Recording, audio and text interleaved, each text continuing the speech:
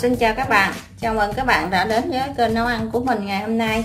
Thì à, hôm nay mình sẽ à, làm món vịt kho gừng nha các bạn. Ở đây là mình có khoảng là nửa con vịt à, này khoảng là hơn nửa khoảng là tí nè vịt này là vịt nhà nè các bạn. Các bạn nhìn thấy là vịt nhà nó rất là ngon nha. Vịt nhà của mình hồi hồi, hồi, hồi sáng mình về quê á mình có mần vịt nè. Rồi mình có để dành nửa con nửa con mình nấu canh và nửa con mình sẽ kho gừng nha. Thì để vô hôm vịt ờ, ngày hôm nay thì mình sẽ có là củ gừng nè.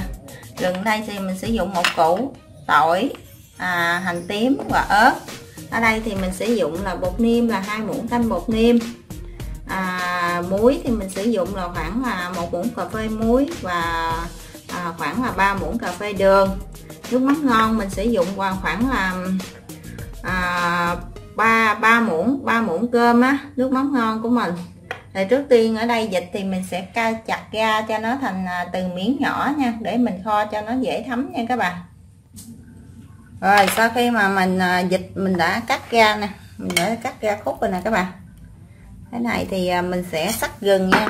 Gừng ở đây thì các bạn có thể là chúng ta sắc nhuyễn nhuyễn ra, chúng ta có thể giả nhỏ, đâm nhỏ ra cái thứ hai nữa là các bạn có thể là chúng ta sắc sợi.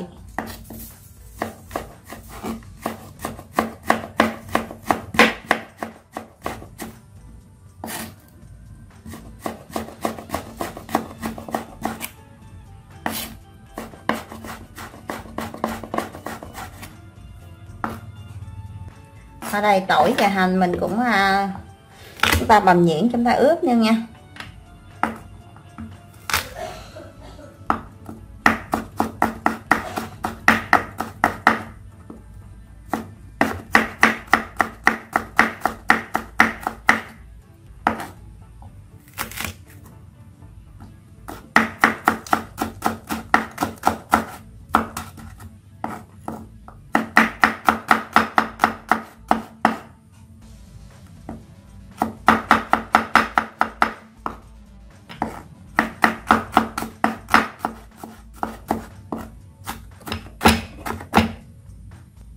Rồi sau đó thì mình sẽ bắt đầu ướp nha các bạn. À, trước tiên ở đây thì mình sẽ cho là khoảng là ba muỗng cà phê. Cái này là cái à, cái à, nước màu mình mình để ra thắng đường á các bạn. Mình thắng đường ờ, bằng cái à, da ga cho ra nó nước màu thì nó sẽ tươi và ngon nha các bạn. Các bạn mà mua nước bào ở ngoài về á, nó nó không có cái màu vàng tươi. Mình sẽ cho đây là mình sẽ cho gia vị nhỏ ướp nè. Cho một ít gừng vô, mình ướp cho nó thơm trước nha.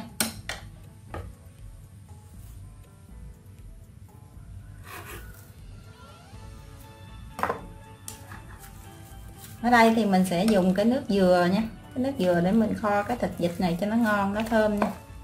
Mình ướp đây khoảng là 15 20 phút vậy đó các bạn để cho cái đồ ướp gia vị này càng lâu thì nó sẽ càng ngon. Và ở đây thì mình sẽ cho là khoảng nửa muỗng cà phê dầu hào vào trong đây nha các bạn. Cái dầu hào này mình thích, cái mùi của nó nó thơm. Nó ngon.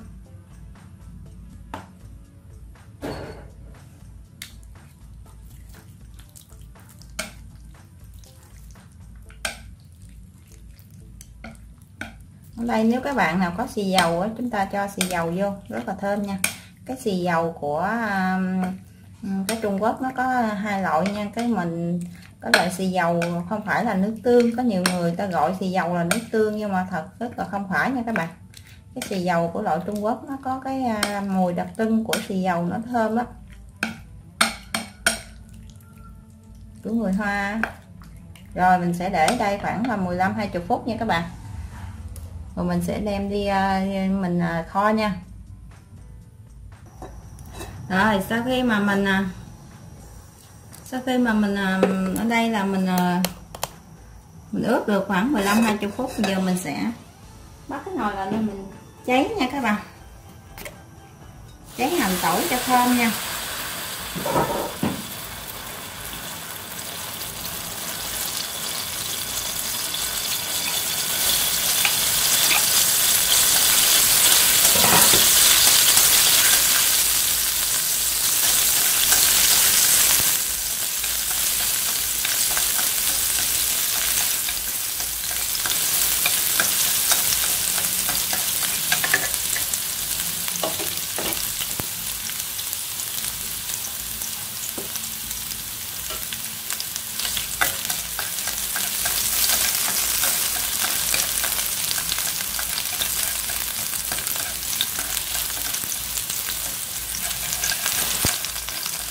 rồi sau khi hành tỏi mình thơm, mình sẽ cho vịt vào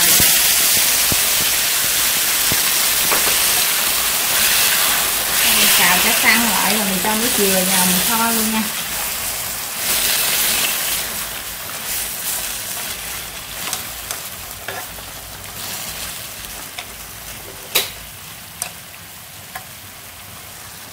Rồi sau khi xào xăng ở đây thì mình sẽ cho cái nước mắm vào nha. Cho nước mắm vào mình, bỏ, bỏ vô. Nãy mình ướp là mình không có cho nước mắm. Mà giờ là mình sẽ cho nước mắm vào. Sau khi thời dịch của mình nè nó săn nó sôi lại. Thì ở đây thì mình sẽ cho nước dừa vào luôn nha.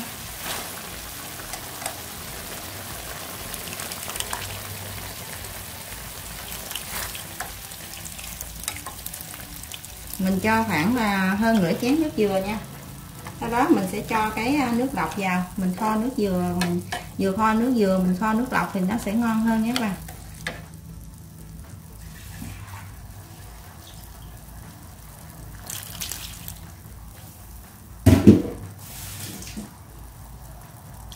Mình cho chừng một chút xíu à, nước lọc ở chén nhỏ thôi. Nửa chén nhỏ là được rồi. Ở đây nếu các bạn nào chấm rau á, kho rừng mà chúng ta để chấm rau nữa thì chúng ta sẽ cho khoảng à, nửa chén. Còn nếu không nãy là nước dừa của mình đã gần à, hơn nửa chén rồi nó nhiều rồi.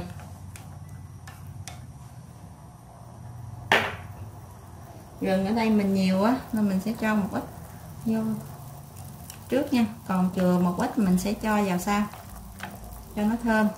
Rồi bắt đầu là mình kho cái lửa nhỏ nha các bạn.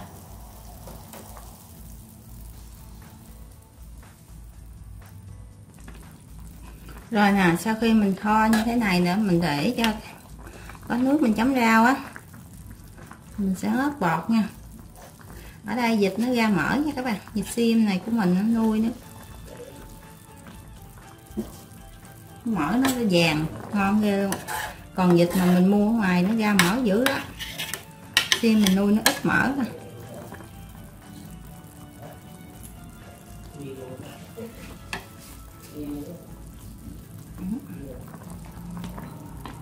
giờ thì mình sẽ nêm nha. Nêm coi nó vừa ăn chưa.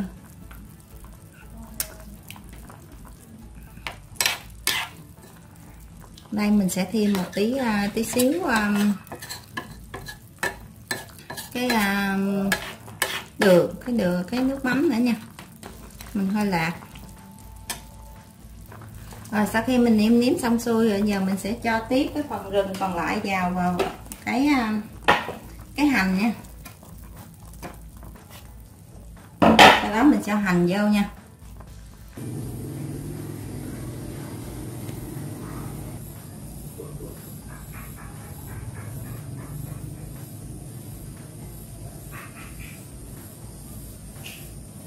À, các bạn thấy à, cái món vịt mình à, kho rừng như thế nào các bạn?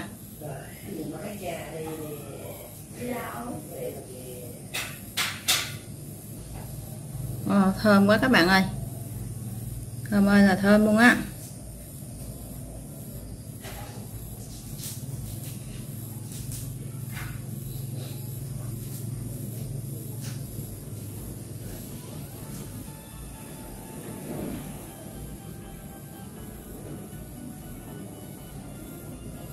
à, như thế là mình đã làm xong cái món vịt kho gừng của ngày hôm nay rồi các bạn.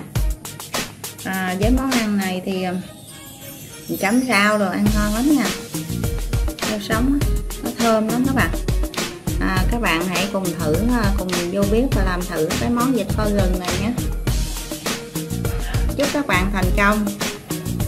Chào tạm biệt các bạn. Hẹn gặp lại các bạn trong những video tiếp theo của mình nhé. Xin chào.